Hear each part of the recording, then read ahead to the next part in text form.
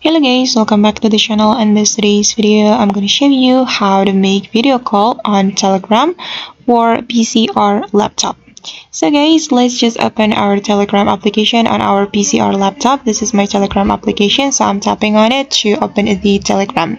And then we can select the contact we want to make video call. And for instance, I'm going to select this contact. Then if you want to start the video call, you can tap on this button guys. Then uh, you can simply tap on start video call to make the video call. Just tap on this button and now the video call has been started and if you want to end the video call you just need to click on end call right here. And alright guys that's how we can make video call on telegram application for pc or laptop.